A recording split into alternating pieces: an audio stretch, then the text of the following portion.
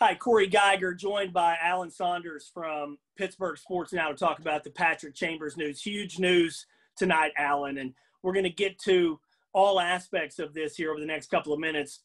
It was a surprise, kind of, this news that Patrick Chambers resigning.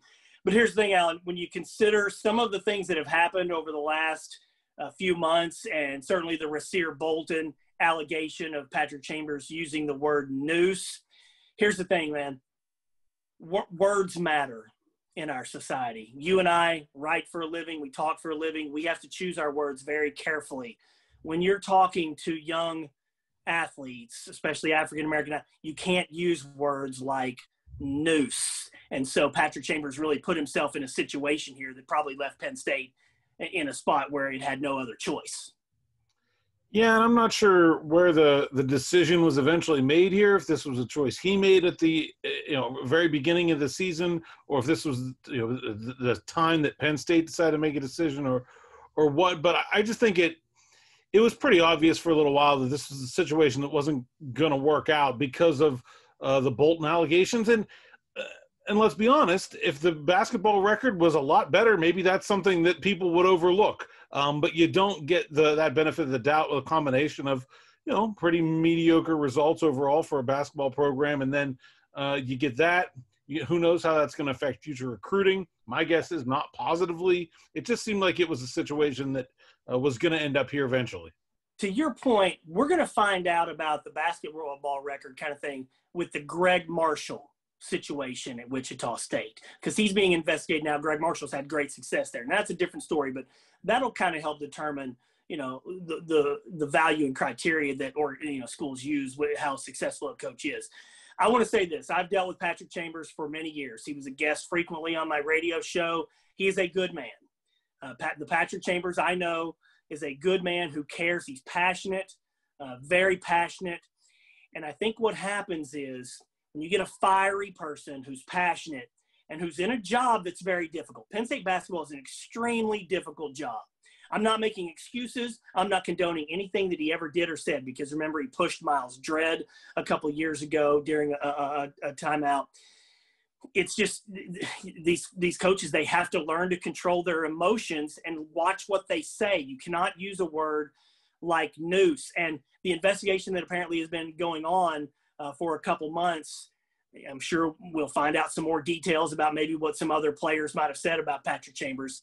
But again, when you when you put yourself in that spot and you start doing and saying things that uh, uh, are, are, are harmful to your young student athletes, really, it's it's almost impossible for a school to stand by you. Yeah, I, I think so, and and I, you know, I don't know how much of of uh, what what's to come. Obviously, could there be more? Uh, we don't know. Um, to me, that's what makes the timing of this pretty interesting. Is that obviously the stuff with the news comment had come out months ago. Um, so why right now? You know, 30 days before season, if you're going to make a move based on that news, you would have thought it would have come sooner than this. But I think something that probably needed to happen eventually, and uh, you know I think they have a pretty solid interim option in Jim Ferry. It's not going to be an easy time to hire a coach 30 days before the season. You know, I think that was pretty much the only choice they had to go with. Yeah, we've dealt with Jim. I've dealt with Jim when he was a coach at Long Island, uh, ran a good fun system. He was also the coach at Duquesne. You dealt with him uh, there. Uh, to me, Jim, good offensive mind. Uh, we'll see how that all plays out. But tell tell the Penn State fans out there, Alan, a little bit about Jim Ferry that they may not know much. Um, I I've really enjoyed covering Jim's teams at Duquesne. They they weren't, you know, the record is what it is. They weren't super successful. I thought he recruited really well for the level, and just in general for a guy that maybe doesn't have um, the kind of reputation. Didn't come to Duquesne with a reputation of being some kind of uh, great recruiter, but I thought he did really well in getting some kids um, that were, uh, you know, highly rated uh, kids to come to Duquesne, and I thought he found some kids that were underrated that turned out to be really good players. Um, I loved his offensive style. Uh, like you said, fun. Uh, modern offense, going to utilize the three point shot pretty heavily. Um, most of his teams at Duquesne were really good at shooting the three. Not always so good at defense. I think that was probably the um, the, the issue towards the end of his tenure at Duquesne when kind of ran out of shooters and then then things started to fall apart a little bit. But uh, you know, from all my interactions, a good guy, uh, easygoing, and then I think anytime you go to um, a guy who's already on the staff, you know, it's it's gonna it's gonna help the team from a morale standpoint. You know, you lose a coach at any point, it's tough.